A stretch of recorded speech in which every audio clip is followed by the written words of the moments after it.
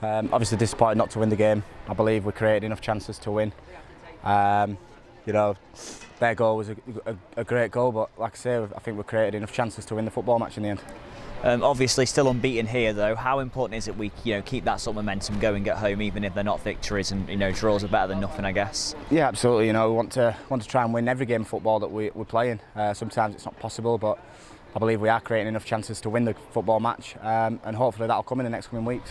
Uh, are you confident these chances will eventually turn into goals and the form will pick back up? Absolutely. Like I say, um, we, we are creating the chances. It's just about uh, putting them in the back of the net. I'd be worried if we wasn't creating the chances. In terms of a team spirit, obviously come from one down to get a draw. Like, does that really show the fight in the team that they have come from behind to get something? Yeah, absolutely. You know, it's not easy coming uh, coming behind from one one goal down. Um, after the goal, I believe they sat in a little bit rather than pressing us and uh, going forward. So it was it was hard to break down at times, but we still created uh, enough chances in that time.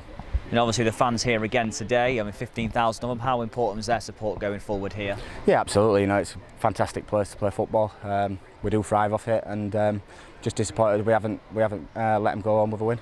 In terms of going forward, uh, what would you say needs to change at this rate? Uh, nothing.